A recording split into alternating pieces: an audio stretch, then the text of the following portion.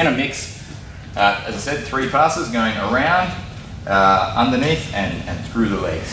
So our first one, we're nice and low. We're gonna reach for the hip, hand on the side of the rib like this, with our forearm blocking the knee from coming in front. Okay, so I drop my, my elbow when I do this. I don't leave it like this. I drop my elbow a bit. My other hand goes on the knee. We're gonna walk to the side like this. Elbow's still blocking that leg, so I flare it a little bit. And then what I wanna do is take this knee away from Koi's chest so I can pass into this space. Okay? Again, he's gonna, always, he's gonna be blocking with his hands. Okay? So trying to pass just straight through here will be difficult. I'm gonna push this leg open and I'm gonna walk back into the legs until I've turned his hips away and I wanna be in line with Koi Yeah. Once I'm there, even if he's pushing like this, I can usually like get a, a good grip around the body, use my head, and end up in side control. Yeah. There's a few different ways you can react to there, but uh, this is a much better position for us to, to complete our finish. So hand on the knee and the, and the side of the rib, that forearm blocking the leg, walk to the side, push the leg out of the way, and then we consolidate around to the side. Now, we have to have good uh, timing though to, to mix up our different types of passes. So as well as training our technique and the execution of the technique, I also want to train the timing. So our first reaction that's going to occur that we have to deal with, as I go to do this, Koi manages to get his left top knee in front of my shoulder. He just put yes, like this. Okay, so I kind of lost, ideally I was blocking that, but he's managed to, to bring that in. So now it's actually quite hard for me to, as I walk back, to actually get in and finish this around the legs pass. So again, I go for that, and Koi gets this knee in front of my shoulder. Okay, so I'm gonna go under that leg now. I'm gonna reach my hand under, on top of the thigh, and I'm gonna lift the leg on my shoulder. I can't lift it here, I have to walk back to get my shoulder underneath. So I walk back to kind of to where I started, but I'm now underneath the leg. So again, go to here, Koi gets the leg in front, I reach under, walk back, I get the leg on the shoulder, and I'm gonna reach my right hand to the far, right across his stomach, like I'm gripping his far hip. You can see that. Okay, I want to get this grip. See leg on the shoulder, guys? If you're here, this will not work. Okay, he's gonna push me away with that leg. I lose all my distance. I have to be like underneath the line of his knee. So again, that's why I gotta pull that leg on my shoulder. So again, we'll go for our Toreando. If he doesn't block, walk to the legs. His leg does go on top, we're gonna come under, grip on top of the thigh, walk back, and we're now leg on top of the shoulder, reaching the far hip.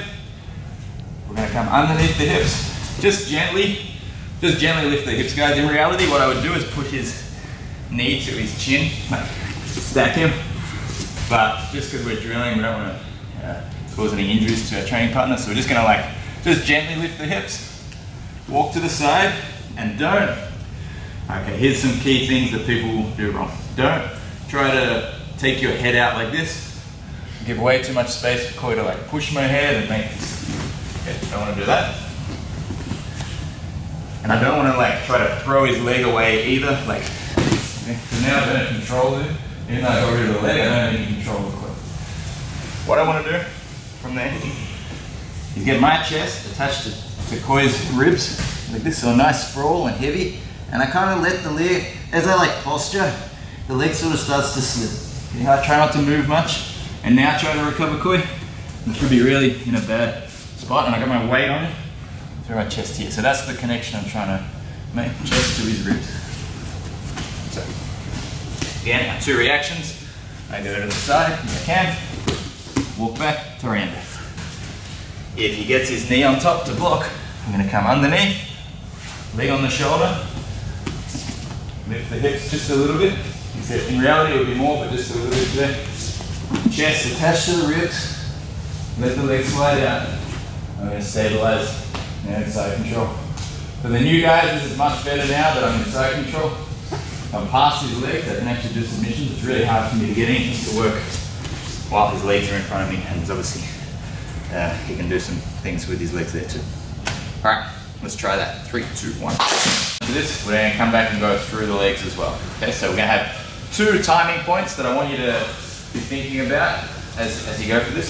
So again, we're here, we get our grips, I go for the Toreando, Koi gets the knee in front. Okay, if he gets that, I'm gonna come underneath the leg, like this, and I'm gonna make sure I get the leg on the shoulder, to. Uh, remind me to talk about the triangle here, I'll talk about that in a moment. Um, as I go to get along, around, uh, actually let me show you. Show you how people will block that. Okay, so Koi gets under, yeah, he goes around, I get my knee in front, he comes under. The way I will block him coming around, I'm gonna put my foot on the mat, I'm gonna like swing my hips back to try to off balance. So Koi goes to get around, and I kind of like kick, swing to kick him back here. Okay, so again, try to pass around Koi. Do, it. Yeah, I just, yeah. Go. Keep going, keep going.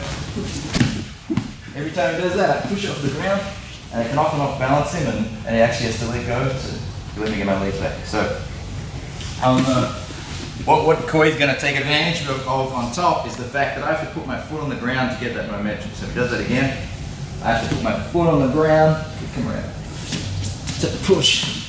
Again, so to open up some space there, and that's our cue to go back through the legs.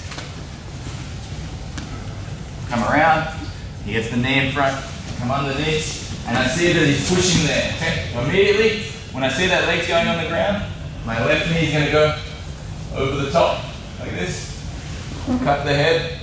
And then there's a few different ways to, to finish this. Um, put your foot like underneath the, the calf, knee over the top of the thigh.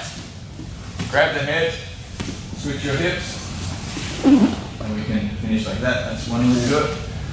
Uh, it's probably the easiest way to, to show. So again, I get there, grab the head, switch my hips, so step out, still got this, control. And I block his hip and remove my leg.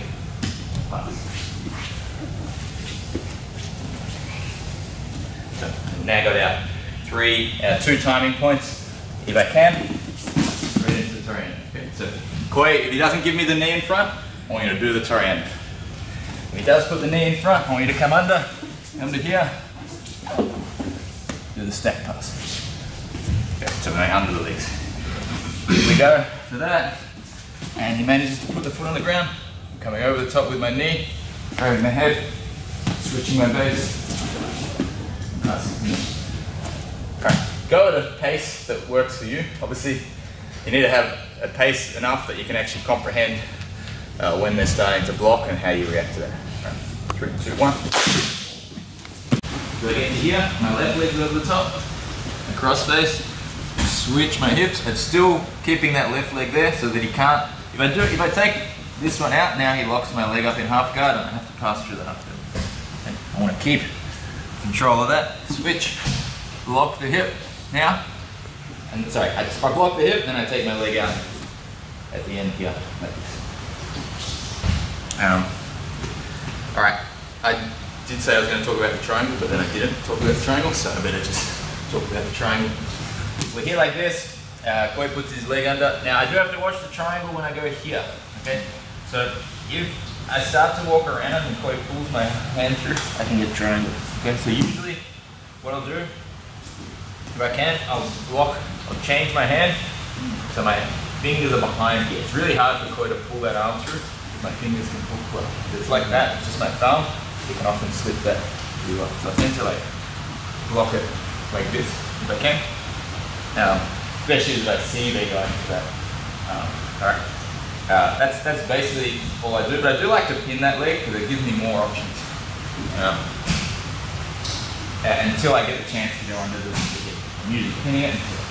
Uh, now let's just work all three together, but this time uh, imagine each one gets blocked, so don't actually finish any particular pass. I want you to like practice the transitions between the three of them, because this is where you start to become much more dangerous.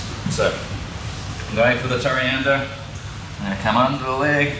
Koi's going to block everything that I do. Okay? He might block here, come for this. He might block my shoulders here. Come back to this. He blocks that. Back in. You can go back to the Toreando by swinging your hand back in front of the hip. And back out. And going back to the Toreando. Now, I'll stop here. So don't- fully finish, even if you just get to there. Just stop, let them a chance to recover.